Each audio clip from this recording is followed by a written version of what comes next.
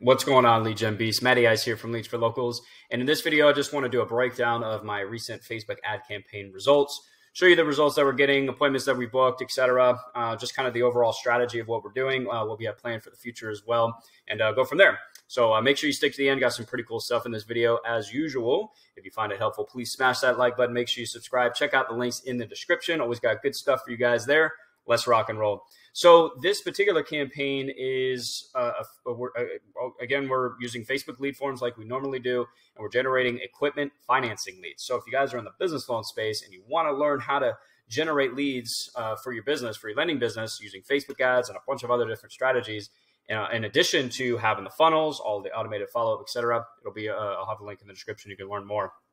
But um, same strategy that I usually use for Facebook lead forms, where we're using the lead form to get first name and email, just build the list, get people into what I call your uh, digital ecosystem, letting people come to you, and and and really relying on the funnel and the automated follow up, the, the educational content uh, that gets sent out via email, etc., to have people coming to you. Um, it tends to uh, generate you know higher intent leads um, because they, they they take quite a few steps before they become an actual lead for you to contact or they book an appointment, right?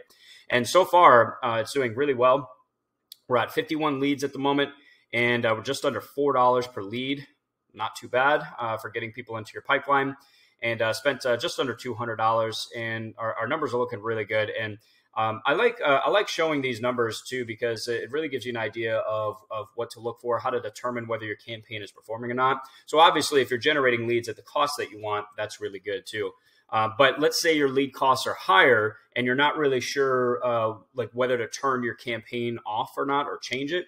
Um, these are the numbers that I tend to look at, and uh, it's really one is the CPM that gives you an idea of the competition uh, that that's within your space how much it costs to advertise to your audience right now. Um, but also the, the the main metric that I look at is this right here, this link click through rate at one one point eight seven percent is really good. Uh, anything at one percent or above, you really don't want to mess with your your ad campaign because uh, over time now now if people aren't submitting the form, uh, so if you have a good link click through rate but people aren't submitting your form, that lets you know that it's either your offer um, well, probably not your offer because people are clicking on it, but there's something wrong with the lead form, something's inconsistent, whatever. That's what you would want to change. But if you have a really good link click through rate, then uh, then your campaign is resonating with your audience really well. So we're getting some really good engagement on our campaigns here. Let me uh, show you the different uh, ads that we have. We actually tested three ads this time. I usually do two.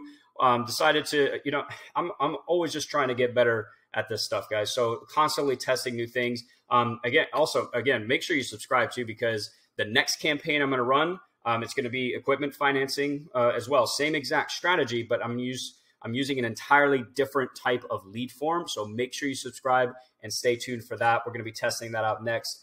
But uh, on this particular case, uh, so we have a static video and two single images right here. And this is the one that, uh, so the static video is the one that is doing really well. Uh, good good metrics right here, average, above average, above average. That, that's exactly what you want to see. Now, if this is if any of these are below average, it doesn't necessarily mean that your ad is bad. Again, if you're reaching your numbers, you're getting those that, that good link click through rate, you're getting your lead cost, then you know there's no point in, in turning it off, right? So uh, let me pull up. Uh, I'll, I'll, go ahead and show you this uh, ad campaign, guys, uh, really quick. Um, so basically, this is uh, I, I, create all this stuff in Canva.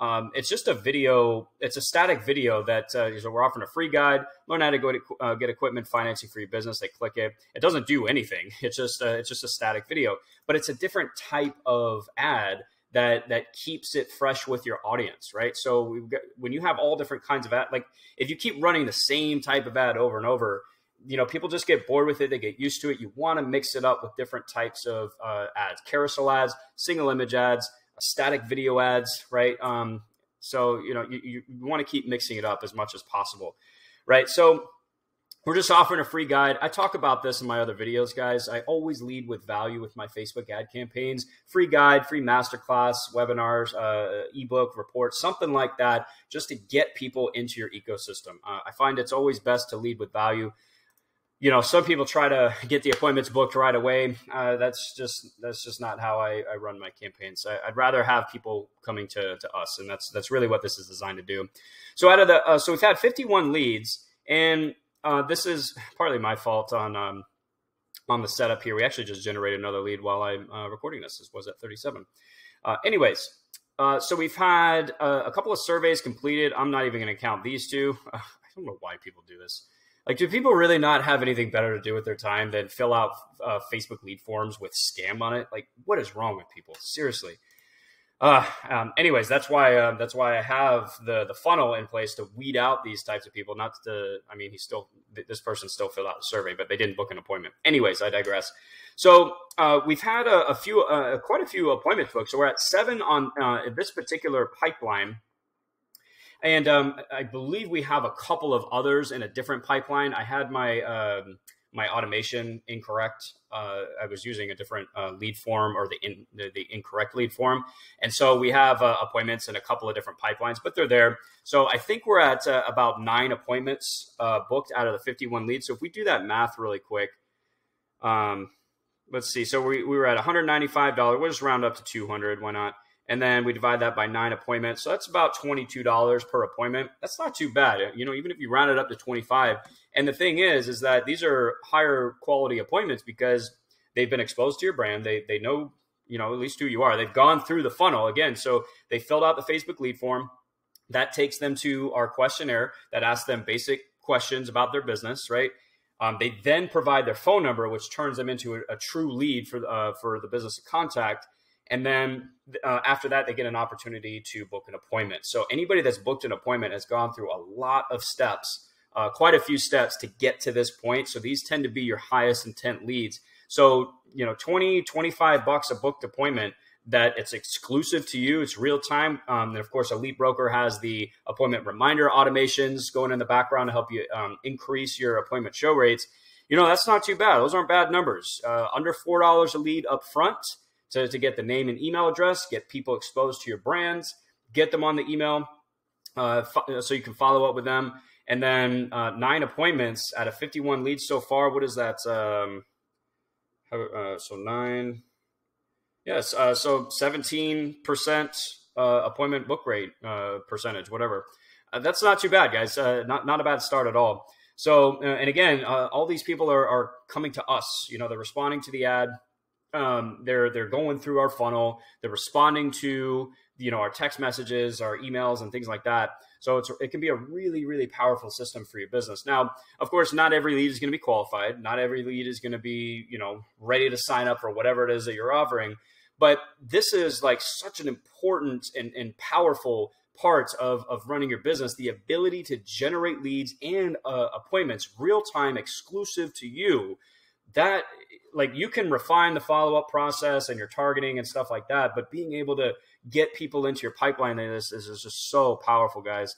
So, anyways, I'll, I'll wrap this up really quick. I, I, didn't want this to be too long. Just wanted to give you show you guys the the overall strategy of what we're doing, the uh, the, the, campaign results. Just you know, I want to show you guys that the, this stuff this stuff really does work.